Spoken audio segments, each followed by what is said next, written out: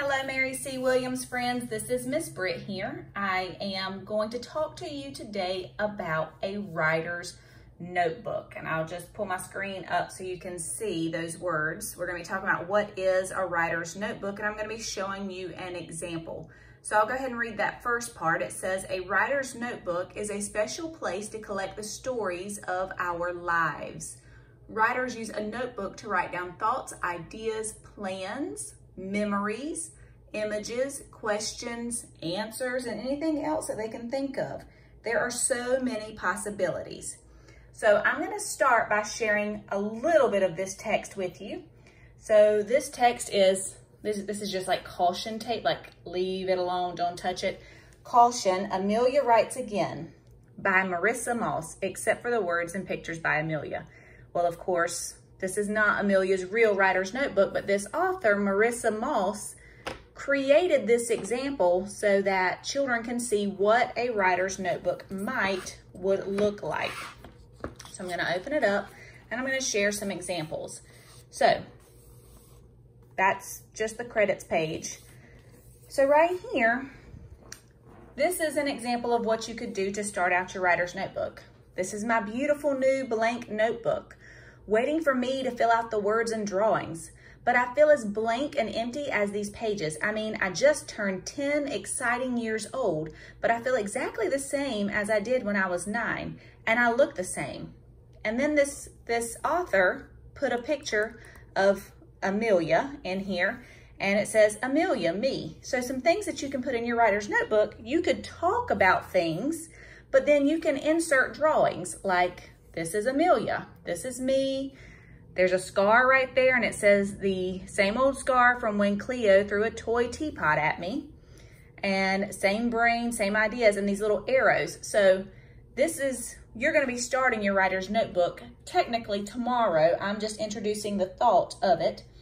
So you're gonna be starting your writer's notebook tomorrow. And these and some examples of things that you can put in it, I'm gonna show you from this. So I love how your writer's notebook does not have to be perfect. It can be a little bit messy, you know, writing on the side like this, some arrows pointing, and then some pictures and explaining what's in the picture. Those are all things that you can put in your writer's notebook. Now, this is a page where Amelia went to Space World. And so she took a postcard. It tells me what it is. This is a postcard from the gift shop. She took a souvenir. She took something from her trip to Space World and she put it in her writer's notebook.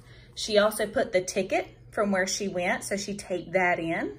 She also had a souvenir stamped penny from Space World, so she put a penny in and got a souvenir stamp.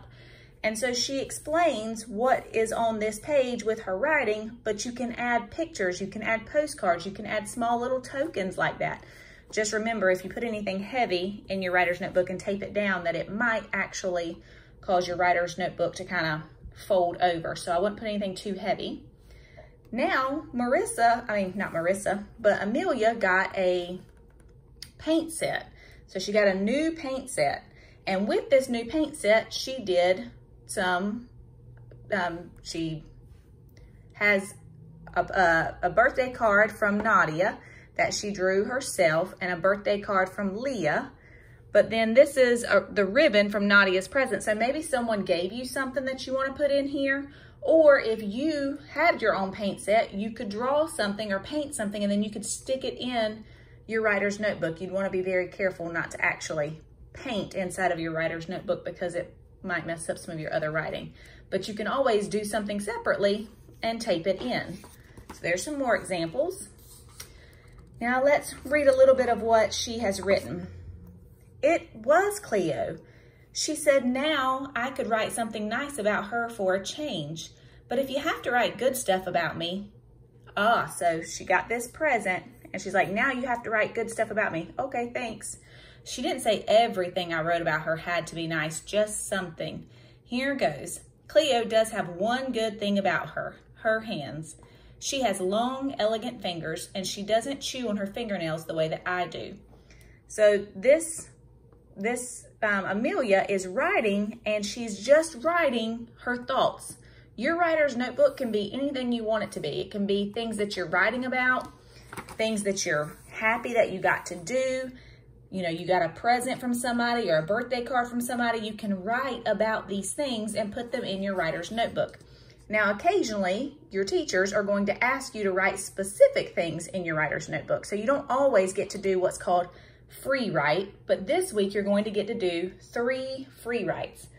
You're gonna do your first one on Tuesday, and then you're going to get to do your um, second and third on Thursday and Friday.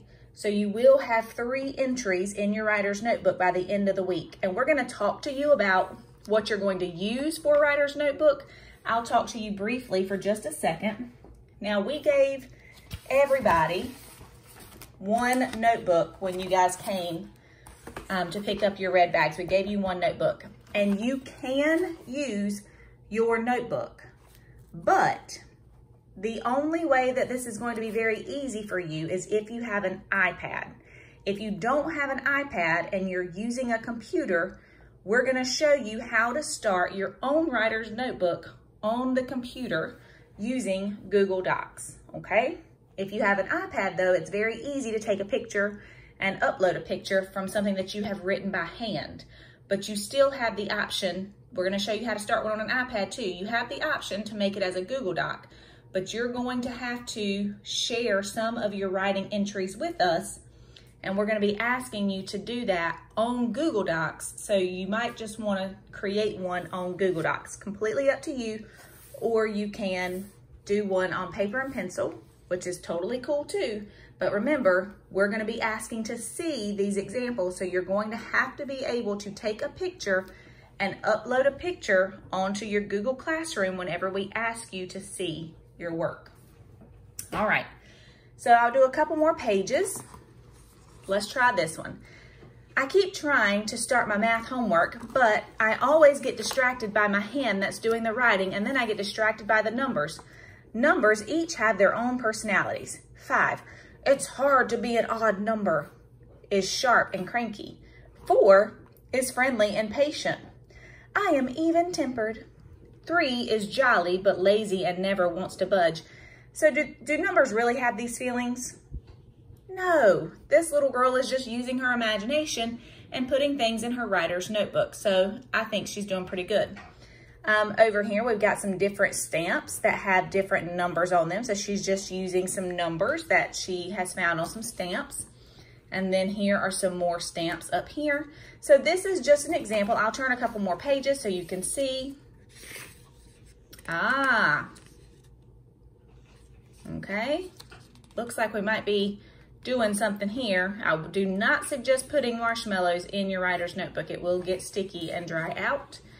Keep going. She's got some food stuff in here. Caution. I thought yesterday was bad, but now a horrible, awful thing has happened.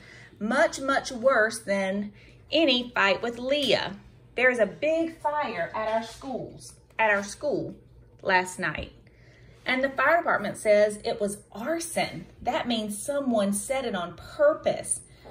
So if there are big events that are happening in your life, such as COVID-19 and having to learn virtually, then you may want to share some of those thoughts and feelings in your writer's notebook. All right, so I'm gonna show you some other things that you can have in your writer's notebook turn this up. All right. Perfect. All right. And get this out of the way. So I read this to you already. You know some things, but I'm going to give you a few more ideas that you could include. You can include things that are important to you or things you care deeply about in your writer's notebook. You can put stories or adventures that really happened. So things, your stories that really happened. You can also put important people, special places, or you could talk about your pets. You can add your drawings and your sketches, or you can make a diagram of something, like maybe you want to share um, your bedroom, like the way it's set up, or maybe um, a place that you've been in the past and you want to make a diagram of it. You can write your own songs or your own poems, which is something I definitely did as a kid. You can um, write some observations, so some things that you notice or some things that you have seen before. You can write from a photograph, so you can put a picture in there and then you can write some information about that photograph. You can talk about some important first, so some things that happen in your life for first, like first day of school, first time you went to a specific camp, the first time you rode a bike or had a sleepover. You can talk about good times or bad times. You can talk about celebrations, either big celebrations or small ones. You can make lists. Maybe you have a list of things you want to get accomplished for that week. You can write that on Monday. Maybe you have some dreams that you want to be able to share with somebody. You can write those in there. Your memories and conversations or quotes. A writer's notebook is like a ditch, an empty space that you dig in your busy life, a space that will fill up with all sorts of fascinating little creatures. You'll be amazed by what you catch there. So that's just a quote. Sorry, I should explain that. That is just a quote by Ralph Fletcher, and he is one of the authors that has written um, another book that we might get a chance to look at. That is this book, A Writer's Notebook, so we might get around to using that one as well. If you are writing and you're having a hard time writing, so when you are writing in your writer's notebook and you have thought about some of these things that you can include in your writer's notebook, Sometimes as teachers, we find that students just write a sentence or two in their writer's notebook. And we're not looking for a small little bit of writing. We want you to learn how to be a good writer and write for an extended period of time. So one or two sentences is not going to be enough in your writer's notebook. You're going to want to put at least five good sentences, but I would be shooting, you know, five to 10 good sentences to share your thoughts. And so when you're writing, if you're having a hard time adding details, you want to start thinking about ways to help us imagine what you are writing. So you would try to remember the colors and be specific. Maybe some sounds, if it has something to do with sounds, or some smells. What was the day like, or, you know, how were your feelings about that day, or whatever. It depends on what your topic is, but you want to make sure that you are adding details who was there, um, only if they're important to your story. You don't want to just tell me that, you don't want to list everybody who was there just to make your paper longer. You want to be specific and make sure that you're only talking about people that are actually important to the story. Where was it? Where did it happen? Can you describe the setting? What feelings or thoughts could you add to give your readers a deeper insight into your, now this says memoir, so it could be your memory if you're writing something from memory. And then can you use a metaphor to bring a description to life? We're going to talk more about metaphors, but you don't have to try to use a metaphor right now unless you know exactly what a metaphor is. So I want you to focus on making sure that you use your five senses when you're writing.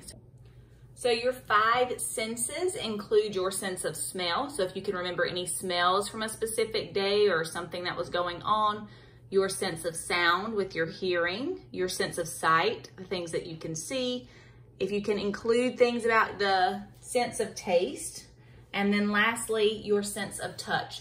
So basically what you need to make sure that you are doing is adding as much detail as possible so that your readers can um, understand one, what you're saying and that they can enjoy it because you're using descriptive language and being specific. So those are some things I want you to think about. Today, you are going to go to your Google Classroom. You are going to complete day 11, what goes in a writer's notebook. I shared with you some things that are in Amelia's. So after watching Miss Britt's video, what are three things that you saw Amelia share in her writer's notebook? You're gonna tell me the three things that Amelia, three things. I showed you a lot more than three, but you're just gonna tell me three things that Amelia shared in her writer's notebook. I need to add this in here. Please use complete sentences. Please use complete sentences. Okay? And then last but not least, what can I put in my writer's notebook? I want you to tell me at least three things in complete sentences that you can put in your writer's notebook. All right, my friends, I hope that this video is helpful and I hope that you are excited to start using your writer's notebook. Tomorrow, Miss Caldwell is going to explain to you how to create a electronic writer's notebook because it will be a document that you will have to create and keep up with.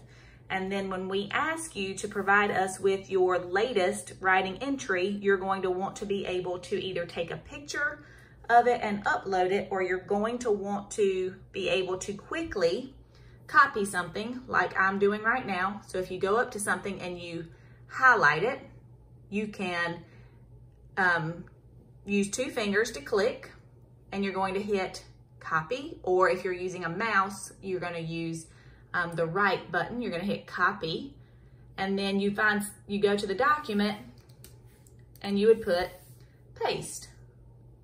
You would hit right click, paste, and if I do it again, it's gonna show up again.